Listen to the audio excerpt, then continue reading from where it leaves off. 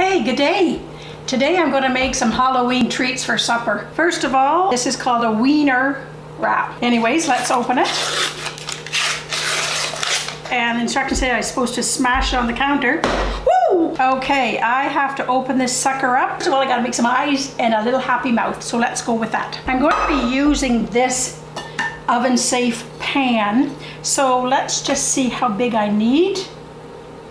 That's pretty cool, right? Okay, so that little piece of triangle, kind of warped, is going to be my nose. So now let's make some eyes. So I got the square. I'm gonna make a mouth out of the square. I'm gonna round off the square bottoms. I'm going to maybe put some teeth in this. Oh shit, I'm not kidding. Now, I'm gonna put that in the oven, 400 degrees for probably about five minutes, just she cooks up because that's going to be my decoration. Now, right inside the pot I'm going to use on the oven, I'm going to make some cheese spread that's going to go on this, let's call it pumpkin cheese dip.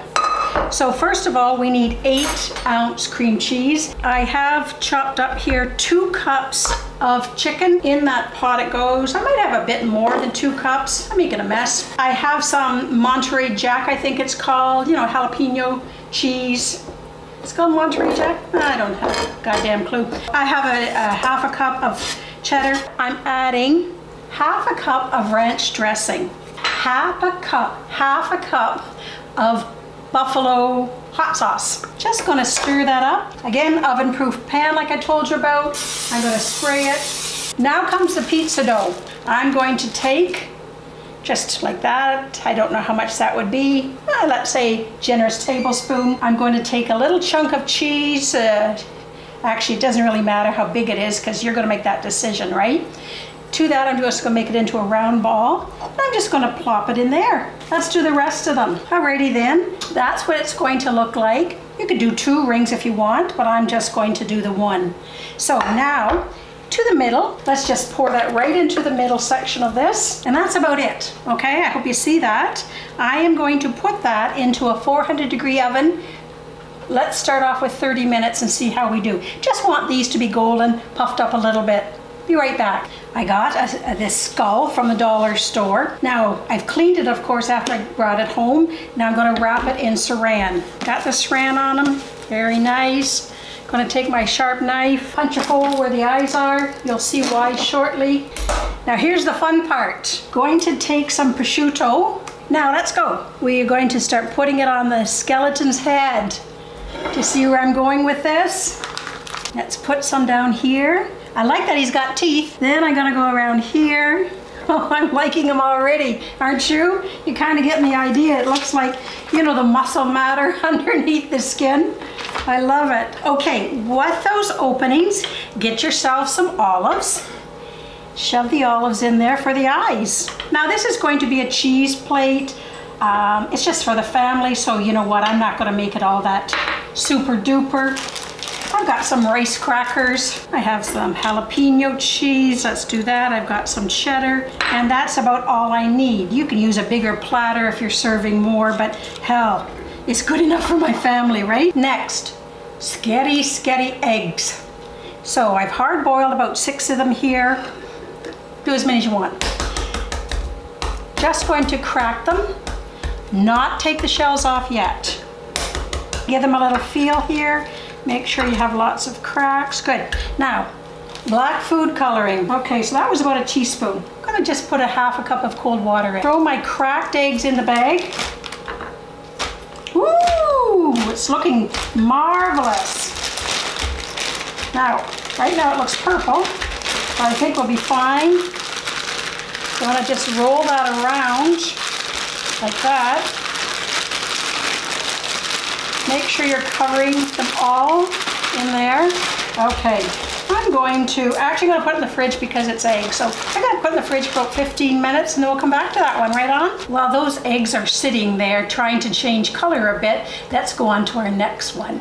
This one I think is going to be quite exciting. At least I'm excited to give it a whirl. Okay, I washed these avocados. This is another dip. Uh, I washed them off. Now let's cut them open. Looks like they're very ripe, but we'll make it work, right? Like, let's get that beautiful fruit in the bowl. I'm gonna use a lime today. I normally use a lemon. Lime's gonna be fine. Not only does this help the taste, but it also prevents it from going brown. Let's just squeeze some lime in here. I love this gadget. I'm gonna put in about a quarter of a cup of red onions. I've got some clean cilantro. Let's chop that up. Washed Roma tomatoes. The recipe that I'm going to give you the link to says two, but I'm just going to use one. What else? Salt and pepper. Fair bit of salt. While you weren't looking, I just tried a little taste and I think it's going to need just the tiniest little bit of chili powder. Just a little kick. Um, how much? I'm going to put in about quarter of a teaspoon. Not too much. Give you a little looky-loo. Nice big chunks. I tasted it. Really good. Now, let's take you to the next step. To me, this is the fun part. Okay, get yourself a pumpkin pie, pie pumpkin, one of these smaller guys. For you who don't know, the small, small pumpkins are the one we actually make pies out of, make a pumpkin puree. Okay, I didn't do a good job, but that's not the important part. I've just cut off his head, made some eyes. This part's important, you gotta cut out some kind of a mouth, could be round, whatever. If you just want to take a magic marker and do the eyes, fine, but you have to cut out the mouth, okay? So here we go. Get yourself a nice platter. I'm using orange for Halloween. So then what you do is you take this chunky um, guacamole dip and now we're gonna have some fun with it. One too many boxes of wine. I don't care. I just think this is so much fun. Now, let's have a wee boo. Okay, let's stack the mouth a bit more. Perfect. I'll be right back. I'm just gonna get a little tea light. Just thought of it. Don't burn yourself. Okay, now, I think that's kind of cute, don't you? Get this delicious, delicious cheesy torstats and put it in the bowl. Why not, right? So let's throw some tomatoes on top. Now get yourself a bag of these guys. Put them all over the plate. Okay, oh, I think that's a great surprise. Look, you can even just put your little pumpkin head like that. Okay, let's move on to the deviled eggs. The boiled eggs have been sitting inside the black food coloring in the fridge for about 15 minutes. It actually looks a bit purple, anyways, they've already been cracked. Let's peel off the hard egg and see what we have under here. Look at, is that nifty shit or what? Okay, that is, oh, I'm, I'm so excited.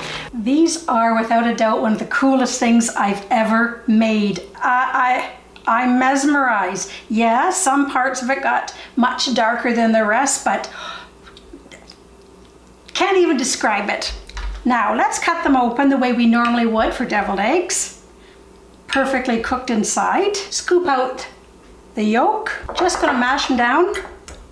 I'm going to put in a, let's say about two tablespoons of mayonnaise. Then I always put some mustard inside my, whoo! I put mustard in my deviled eggs. Let's put about, yeah, that much. Salt and pepper. Let's do about three dots of green food coloring. Gonna need more green food coloring. I'm up to about a teaspoon. I think that's a good color. Let's get a piping bag. Open her up. Get a spatula. Okay, in the bag she goes. I can always come back and fill them with more. Just gonna make sure I have enough for these. I'm gonna show you one like this. Just piping it in. See? Easy. I'm not making it pretty. Doesn't it remind you of Dr. Seuss, green eggs and ham? Now we're not finished yet. Get some black olives. I'm going to cut the end off for the body. Then I'm going to split the olive in half and then just cut long pieces for his legs. I'm just about to serve my all the food group meal here, I think. Let's just put some melted butter on top of these little um, pizza pockets. I don't know what you want to call them. They're the ones that had the cheese in them, right? Oh, that looks really good. Now I did have it out of the oven already, probably for about five, 10 minutes, so it's cooled off a bit. However, when you're cooking it, you may want to serve it right out of the oven so it's nice and hot. We're gonna give it a little try. Let's put the eyes on. Let's put his funny little mouth on. How's that? Hmm? I just got a little extra little piece here. Let's see what it's like. Oh, golly. Mm, God, that's a zinger. So you're just going to pull off, see? Pull off a little piece like that. Oh, ooey gooey, and dip it in the goodness. I think your family's going to love it. Sure, it's not meat and potatoes, but you're covering all the food groups, right? Well, you have fun in Halloween. Ciao for now. You forgot me.